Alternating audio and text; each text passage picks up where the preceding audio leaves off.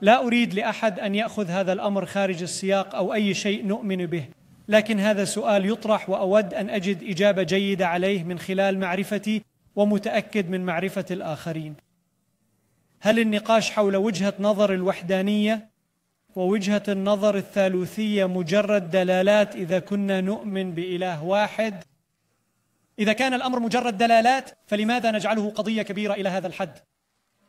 لا يتعلق الأمر بالدلالات فقط. الآن دعونا نكون واضحين. نحن نؤمن بالآب والابن والروح القدس. نحن نؤمن أن الله هو أبونا فهو الذي خلقنا. ونؤمن أن يسوع المسيح هو ابن الله. وإذا درستم الكتاب المقدس فإن مصطلح ابن الله بمعناه الكامل يعني أن الله متجلي في الجسد. ليس فقط إنسانا بل هو الله المتجلي في الجسد. وليس مجرد روح فقط بل الله في الجسد. ونؤمن بالروح القدس حضور الله وقوته. ونحن نؤمن بأن الآب والابن والروح القدس هم ثلاثة مصطلحات مهمة التي تدل على إله واحد. إنهم ليسوا ثلاث شخصيات مختلفة. إنهم ليسوا ثلاثة أشخاص. إنهم ليسوا ثلاثة مراكز للوعي. عندما تذهب إلى السماء لن ترى ثلاثة أجساد. ولكن هذه هي الأدوار الثلاثة لي وهم مهمون جدا كأشخاص وحدانيين. لا ينبغي لنا أن نقلل من أهمية هذه الأدوار. لماذا؟ لأنها ضرورية لخلاصنا. دعني أفسر. فقط كإنسان حقيقي يمكن أن يموت من أجل خطايانا ويمكن أن يحل محلنا ويسفك دمه. لذلك كان لابد أن يكون يسوع ابن الله لأجل أن يموت من أجل خطايانا. ولكن لكي يولد ابنا لا إنسان كان بإمكانه أن يفعل ذلك. كان لابد أن يكون الله هو والد الطفل الذي ولد في بطن العذراء. وبعد خلاصنا. لا يرجع هذا فقط إلى ما حدث قبل ألفي عام بل يجب تطبيقه على حياتنا اليوم. كيف يحدث ذلك؟ يأتي الله إلينا بروحه. اذا الله ليس ثلاثة أشخاص أزليون هم الآب والابن والروح القدس بل هو الله. لقد عمل في حياتنا كأب وابن وروح من أجل هدف محدد وهو فدائنا وخلاصنا من الخطيئة. لذا مع هذه الخلفية ثلاثة أشخاص ولكن إله واحد. سيكون هذا تحريفا لأنه يتدخل في هذه الفكرة القائلة بأن طبيعة الله تحتوي على بعض. التمييز أو الانفصال أو التقسيم، لذا أقول إن الأمر أكثر من مجرد دلالات. الآن سأسارع إلى الإضافة، هناك العديد من الناس الذين قد يتحدثون باللغة الثالوثية، ولكن لديهم في الأساس نفس المفهوم الذي لدينا. قد يكون هذا مجرد دلالات في بعض الحالات، ولكنني أعتقد أنه مهم لأسباب عملية. اولا وقبل كل شيء من الذي نصلي له؟ نحن بحاجة إلى أن نعرف على وجه اليقين، هل نصلي إلى واحد؟ هل نصلي إلى ثلاثة؟ عندما نصل إلى السماء من سنرى؟